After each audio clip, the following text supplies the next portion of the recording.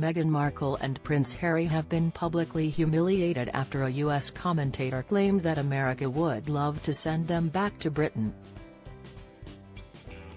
The Duke and Duchess of Sussex stepped down from the royal family in 2020 and relocated to Montecito, California where they have lived ever since with their two kids, Prince Archie and Princess Lilibet.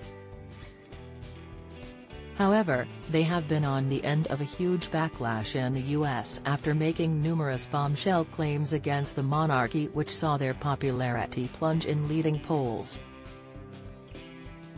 The couple have also suffered further embarrassment this year after they were savagely mocked in episodes of satire cartoons including South Park and Family Guy, The Express reports. U.S. commentator and Salem News Channel host Julie Hartman suggested that many Americans have now become fed up of Meghan and Harry's antics. While being quizzed on GB News about current issues in California, host Darren Grimes playfully remarked that the problems are not just because Harry and Meghan moved there. Hartman replied, by the way, we would love to send Harry and Meghan back. I don't know why they came to us. We will gladly ship them back to the UK.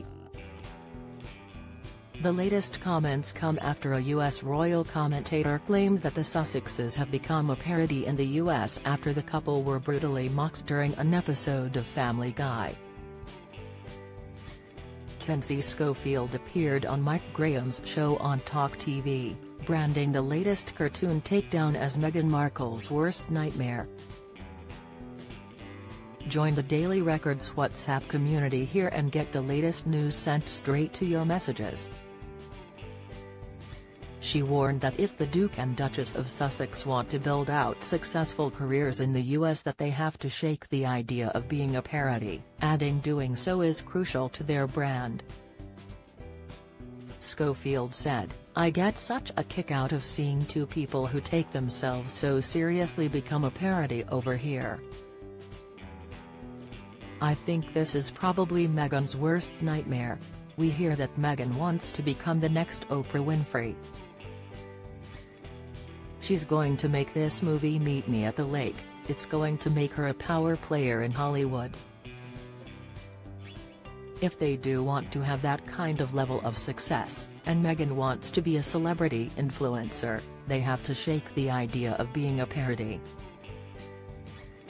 That's crucial to their brand. The royal commentator added, Dior is not going to want to work with somebody that the public sees as a joke, they want to work with sophistication and somebody that is, sick, chic.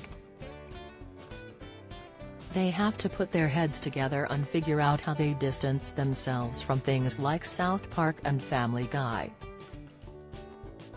They lack a work ethic and realistic goals at this point in their career and exit from the royal family.